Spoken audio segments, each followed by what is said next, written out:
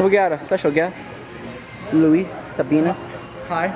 all the way from Hayward, California. Or Union City, whichever one you prefer. Uh, Tri City area, is that what it's called? Yep. Just like Kid Castle said so. That's You know if you're from the Tri City. I, I don't know. It's okay. Do y'all know? Does anyone know? I don't know.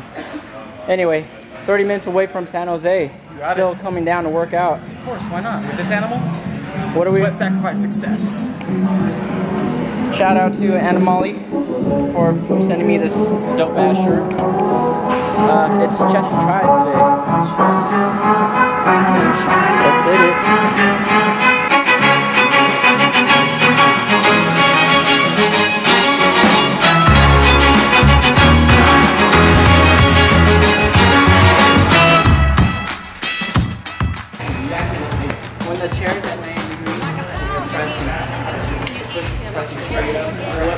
Hitting?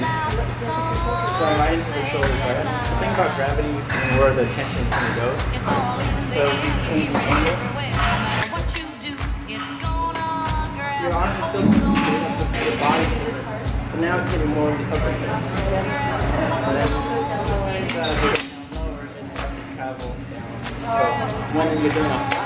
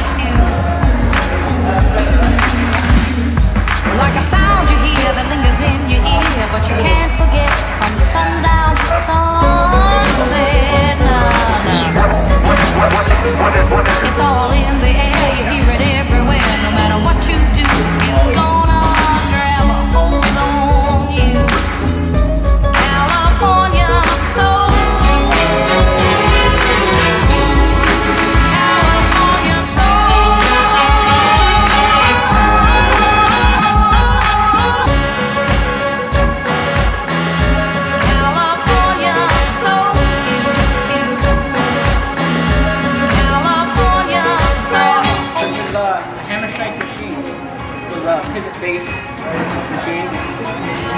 Independent arms. So to mimic dumbbells, it still has uh, still like machine because there's no stability here.